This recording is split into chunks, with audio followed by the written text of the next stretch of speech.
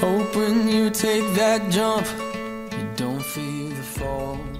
The future belongs to those who believe in the beauty of their dreams. Eleanor Roosevelt. If you had told me that I'd be signing off as Miss Central California one year ago, I wouldn't have believed you. God works in mysterious ways, y'all, and I am so grateful that He led me to this door that gave me not only a supportive and dedicated executive director and most incredible sister queens, but also best friends and teammates who've always been in my corner.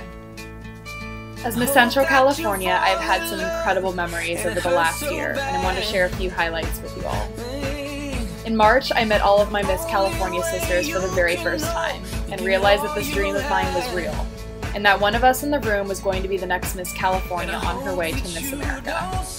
In June, I was on my way to Fresno for two weeks to compete for the title of Miss California, and not a day goes by where I don't reflect on how special that time in my life truly was. I'll never forget how proud I was when I heard my best friend and sister queen, Violet's name called as the new Miss California's outstanding teen. I sobbed for a good hour, and it was worth losing both of my eyelashes in front of Miss America 2017 Savvy Shields. You make me so proud, Vi. I love you. A few years ago, I made it my personal mission to raise enough money for a container of wheelchairs to take to Africa. With a lot of hard work and perseverance, I was so grateful to take over $42,000 of wheelchairs on our distribution trip. Though my crown is taken off tonight, my work continues, as my next goal is to fundraise $50,000 for wheelchairs for disabled United States veterans. The last 10 months have been filled with parades, fundraising events, school visits, platform presentations, national anthems, laughter, and joy. It has truly been my greatest honor to serve this past year. To Karen, this was my first rodeo, and being crowned a week and a half before Miss California orientation was a challenge. But with the guidance of you and your resources, I felt confident, calm, and ready to take on Miss California. I'm so grateful for you and all that you've done for our Savvy 7. To the Miss California volunteers, thank you for your time, effort, energy, and sacrifice that you put into this organization. Thank you for dealing with room 827 so graciously, and for hugging us, encouraging us, and believing in us. To my sister queens, I love each of you so very much.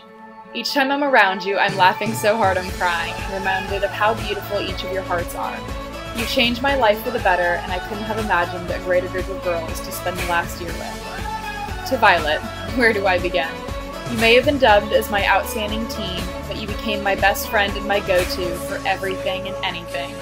Since we became Miss and Teen, I don't I honestly don't think we've gone a day without talking. Except for the two weeks I was in Africa, but that was a given.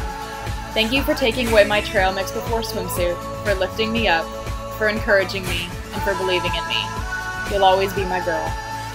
To my family and loved ones, thank you for everything that you do for me, for every time you've sat through a pageant cheering me on, for every gown, every talent lesson, every mock interview, every long drive, and so much more.